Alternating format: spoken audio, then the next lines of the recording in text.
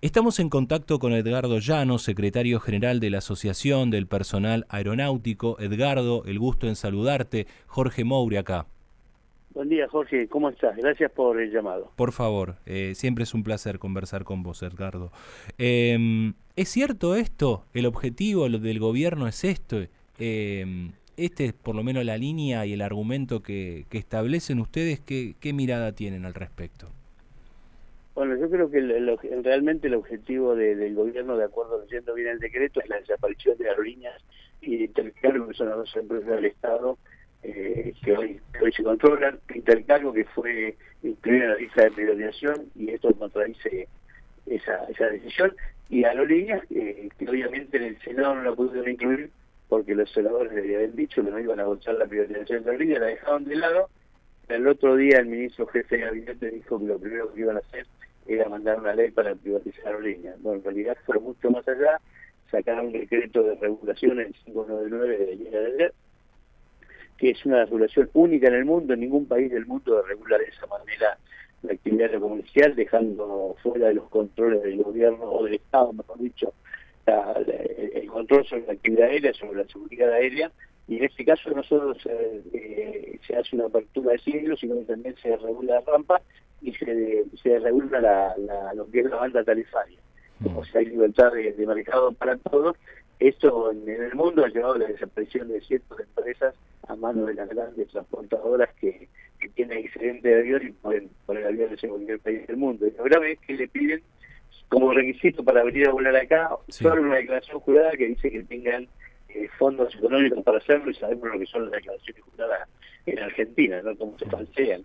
Así que ese es el único requisito que les piden y, también la gravedad que tiene esto es que permite que los pequeños avionetas o de aeroclubs o pequeños aeropuertos puedan volar comercialmente también. Hoy hay empresas de jet privado que es una cosa, pero acá los pequeños avionetas, que algunas son escuelas de vuelo, puedan volar comercialmente y transportar pasajeros.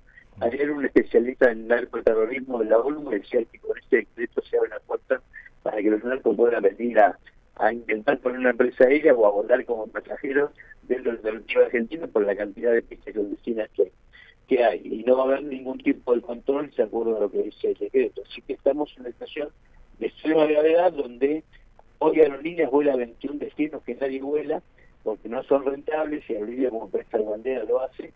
Eh, yo no sé quién va a venir a volar esa, ninguna empresa debería pelear para volar esa ruta que no son rentables. Son 21 rutas del país. Así que es preocupante lo que viene para de acá en adelante y sobre todo preocupante porque esto lo conduce el señor Sturzenegger que ya estuvo anteriormente del gobierno y ya sabemos con las consecuencias con, con que dejó el gobierno en los que participó. ¿no? Mm. Eh, desde los distintos gremios de aeronavegantes están eh, buscando una herramienta para llevar adelante, digo, para contrarrestar o manifestar un rechazo o una postura contundente ante esto. Bueno, eh, esta tarde tenemos nosotros una reunión en los gremios con la Vía Argentina por una cuestión paritaria y después de esa reunión nos vamos a reunir con los abogados para ver si podemos encontrar algún resquicio que permita declarar la inconstitucionalidad de este decreto. No lo sabemos, pero bueno, hay podría haber alguna alguna alternativa y obviamente vamos a ir a todos los organismos que tengamos que ir a denunciar porque esto es claramente perjuicio de, de la línea Argentina y de, y de. De encontrar esta vuelta para hacerla desaparecer de, alguna manera. Hmm. A ver, esto que bien mencionabas, Edgardo, es un dato eh, importante, la reunión de hoy con Aerolíneas Argentinas, teniendo en cuenta la advertencia ¿no? que distintos gremios han planteado de eh, llevar a cabo eh, acciones, medidas de fuerza o asambleas, bueno, distintas eh, modalidades que podrían tener complicaciones de, de, no prosperar o de fracasar la audiencia paritaria para el día de mañana, ¿es correcto? Sí, la, la audiencia es la tercera, hmm. sin ningún tipo de respuesta, no hay ningún tipo de respuesta por parte de la prensa diciendo que solamente que no hay plata, tenemos un mensaje de casi un 70%, eh, nosotros, si no tenemos respuesta hoy, el lunes comenzaría eh, la posibilidad de medida de fuerza. De hecho, el sindicato de pilotos apta mañana comienza la medida de fuerza. Claro. En realidad comenzó hace unos días, pero mañana se van a fortalecer este tipo de medidas y no hay ningún tipo de, llamado del gobierno ni de nadie como para ver si podemos encontrar una mesa de diálogo que permita superar instancia, teniendo en cuenta que el lunes es el comienzo de las vacaciones invernales. Mm. Así que, pero bueno, por el gobierno, al provincia del gobierno le interesa porque no hay interlocutores para poder avanzar y la empresa dice que en el gobierno de La Plata, así que mm. lo, que hace es profundizar eh, la situación de los del terreno. Claro. Edgardo, ayer hubo una reunión de la mesa chica de la CGT en la sede de UPCN, hablando con Héctor Daer, manifestó eh, eh, públicamente que la idea es llevar adelante acciones, amparos judiciales ante la justicia por el tema ganancias, no de manera este, em, eh, individual, sino, este, perdón, no de manera colectiva, sino de, manera individual. ¿Esto cómo lo, lo están analizando ustedes? Bueno, nosotros estamos en, yo pertenezco a la, a la de los trabajadores, eh, esto me, me, suena más a llamativo de la CGT porque también decían que se oponían a la ley base y el día de la movilización no fueron, no, no participaron de la ley base, ¿no? Y algunos dirigentes incluso decían, como Carlos Martínez, que el gobierno necesitaba esta ley y, había que apoyarla, sí, y se olvidó que tenía 100.000 despedidos en el sur de la construcción. Así que esto me parece que es, de, llamativo, me parece que van a ir de, que cada uno haga la que quiera, digamos, ¿no? Claro. Van individual para no comprometer a la CGT en una, una, una, instancia judicial o no, de reclamar. Entonces deja libertad de acción del gremio, pero la CGT no se compromete. El que lo que quiere puede hacer una demanda iniciar un reclamo y el que no, no. Mm. Así que me parece que es un poco lavarse las manos también. Mm. ¿Cómo este, viste a días ¿no? de haberse firmado el pacto de mayo del compromiso de 18 gobernadores de esta rúbrica de estos 10 puntos desde la CTA, desde el sector que vos representás? ¿Qué lectura haces?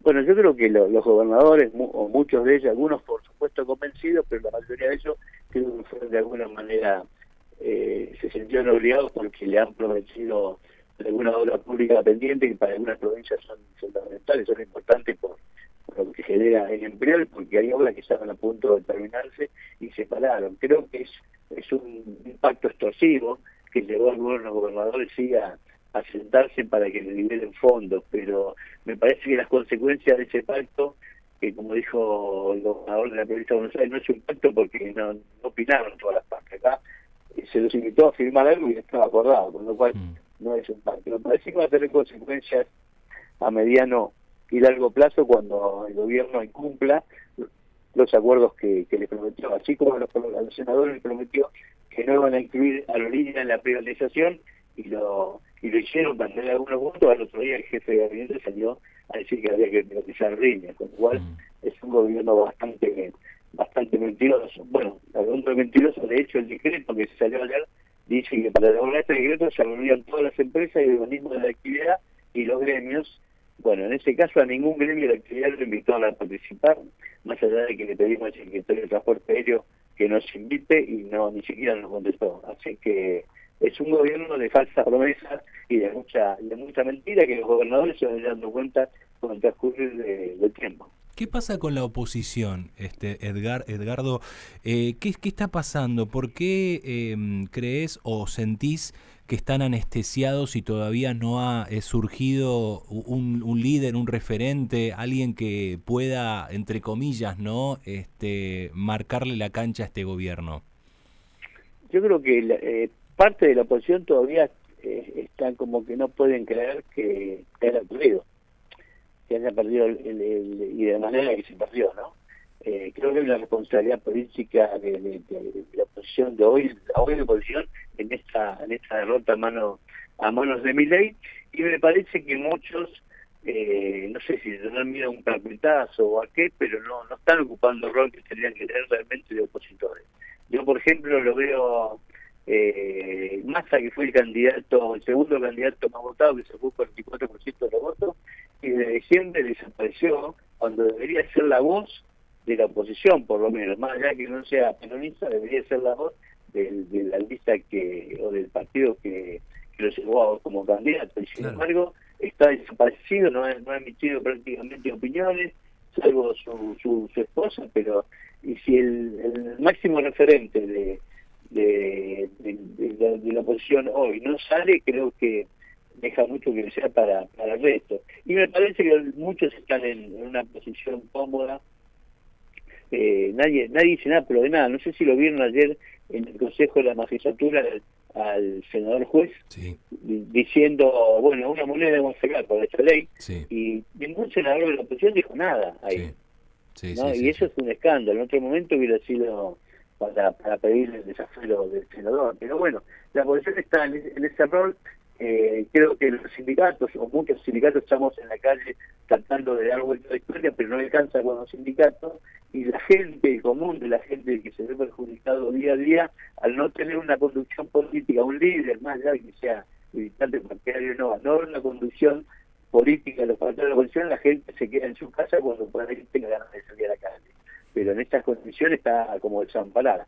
Así que yo la veo muy mal la posición, de, desorientada, y se tienen que reagrupar rápido porque el año que viene tienen que ganar, eh, tienen la elección legislativa y me parece que si el gobierno gana de vuelta va a ser muy muy duro para, para el país, va a ser un futuro muy negro para, para la Argentina. ¿Cómo ves este gobierno? Bueno, este es un, más que gobierno, es un desgobierno, está un gobierno que está totalmente alejado de la realidad, la realidad de, la gente, un gobierno que en política internacional se pelea con los que deberían ser sus principales socios, eh, busca conflictos la internacionalmente. Eh, el otro día, más allá de la importancia que puede tener un desfile militar, se hizo un, un exceso de demostración militar cuando hay tantos que están pasando hambre, que no reciben comida en sus comedores, cuando hay tanta gente y se que además buscando buscando la basura y se hace un gasto un desfile militar, me parece que no era no no era el momento. Fuera de la realidad, este presidente no solo dejó la obra pública, sino que hasta el momento no ha inaugurado una escuela, una sociedad de fomento, no ha inaugurado un hospital o una salita, no ha recorrido ningún barrio del conurbano, no ha recorrido a las provincias son solamente hablar de economía como si la gente entendiera lo, los tecnicismos, con lo que habla en los foros económicos y realmente eso lo aleja mucho de la de la realidad de, que está pasando en el pueblo argentino, lo que está en una condición muy mala, donde no se contempla que hay gente que no puede pagar las tarifas, ya está habiendo que los electores independientes les cortan la luz por no poder pagar las tarifas y, hay una ley que, que les permite a veces no, no abonar porque son justamente pacientes dependientes y sin embargo están haciendo caso omiso a eso y están pasando por arriba de sus derechos.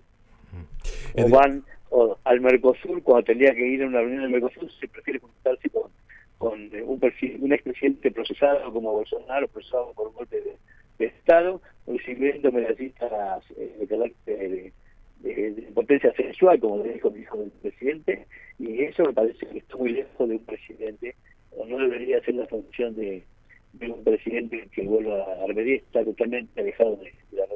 Edgardo, muchísimas gracias por este contacto con nosotros. No, gracias a ustedes. Buen día. Hasta luego. Edgardo Llano, secretario general de la Asociación del Personal Aeronáutico, pasaba por Mañana Sí. Información y análisis sobre los temas más renales y sobre